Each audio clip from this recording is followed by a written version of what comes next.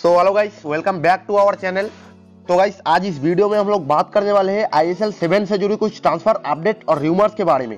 लेकिन उससे पहले अगर आपको ये वीडियो अच्छा लगे तो एक छोटा सा लाइक ज़रूर कर देना। और चैनल पर अगर नए आए हो तो चैनल को सब्सक्राइब करके साथ में जुड़ी बेल आइकन को भी प्रेस कर लेना। तो चलिए दोस्तों, आज का वीडियो शुरू करते हैं।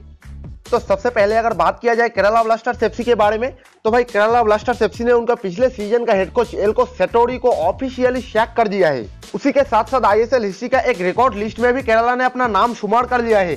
भाई, छह सीज़न में इन्होंने टोटल सात हेड कोच बदला है।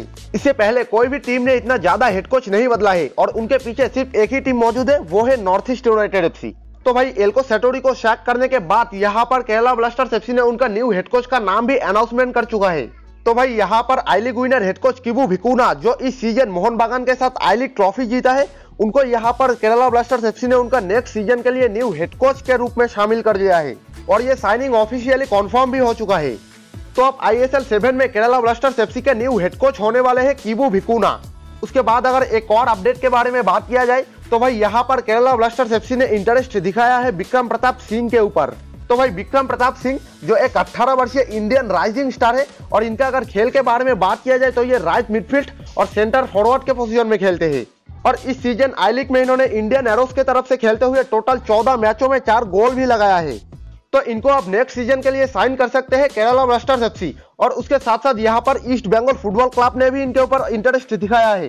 नेक्स्ट अगर ईस्ट बंगाल के बारे में और भी बात किया जाए तो भाई गिरिक खोसला, जो एक 25 वर्षीय अटैकिंग मिडफील्डर है, उनको भी नेक्स्ट सीज़न के लिए साइन करने के लिए उनके ऊपर इंटरेस्ट दिखाया है ईस्ट बंगाल फुटबॉल क्लब। उसी के साथ साथ ईस्ट बंगाल ने यहाँ पर किगन पेरेरा के ऊपर भी इंटरेस्ट दिखाया है। इसके अलावा एक बंगाली न्यूज़पेपर आनंद बाज़ार पत्रिका से हमें यह भी पता चला है कि केबिन लोबो के साथ भी ईस्ट बंगाल ने अपना डील कंफर्म कर लिया है। तो अब देखते हैं कि इन सारे चीज़ों के ऊपर ऑफिशियल अपडेट क्या निकल कर आता है। और जैसे ही कुछ ऑफिशियल अपडेट निकल कर आ जाएगा तो मैं आप लोगों को ज़रूर इन्फॉर्म कर दूँगा। नेक्स्ट अगर बात किया जाए नॉर्थ ईस्ट यूनाइटेड एफसी के बारे में तो भाई नॉर्थ ईस्ट यूनाइटेड एफसी ने यहाँ पर ऑफिशियली कॉन्फर्म साइनिंग कर लिया है ट्राउ एफसी का डिफेंडर दीपक देबरानी को। तो भाई दीपक देवरानी, जो एक सत्ताईस वर्षीय इंडियन डिफेंडर है, और इस सीज़न इन्होंने आई लीग में ट्राउ एफसी के तरफ़ से खेल रहा था।